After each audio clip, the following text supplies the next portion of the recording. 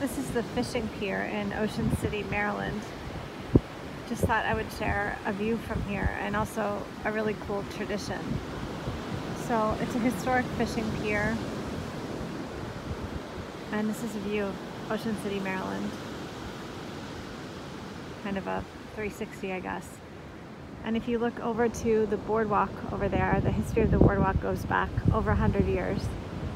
You can see some of the amusements. It's all closed right now. It's kind of winter. But one of the cool traditions here is that along the fishing pier there are locks that people have put in over the years, padlocks, and they all have dates on them from the date they were put here. So there are hundreds of them along the fishing pier, just inscribed with couples' names throughout time. A lot of them are rusted away, so there's no more names or dates on them.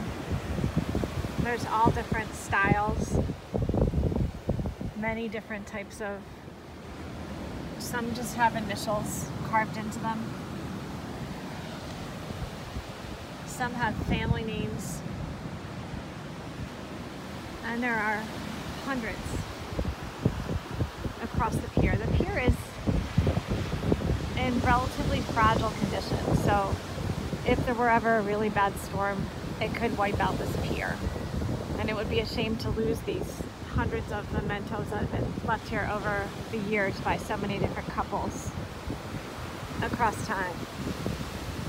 And I guess people come year after year and they add their names and vacation memories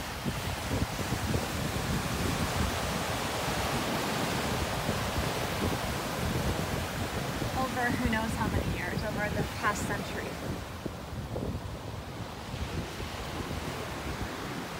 It's just an old fishing pier with a really cool tradition.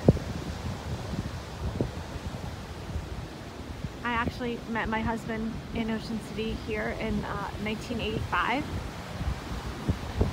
and we we don't have a padlock here so I was thinking maybe we should uh, we should add one. So we'll have to. Uh, we've been here with our kids a bunch of times, so we don't have one here, and maybe we should uh, think about putting one here. I don't know why we've never done that. So the, the beach here is actually pretty fragile because of the number of storms that have taken place here. Just thought I would show a little view of what it looks like quiet Ocean City day in the winter when there's no one here. And then share this cool, cool view. Right now there's really only fishermen here. It's November. There's a couple fishermen on the pier and a couple in the water. But none, no tourists like you would see here in the summer. Normally this pier would be crowded with people. Right now it's really just crowded with these, these cool locks.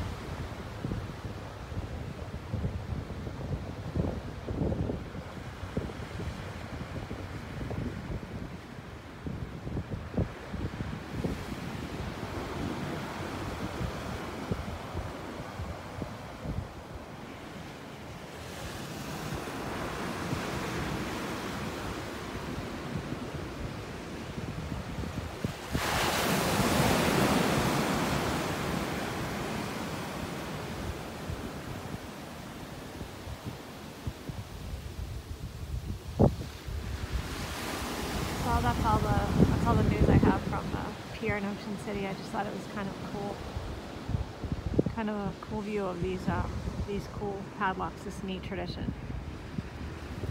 Ocean City, Maryland.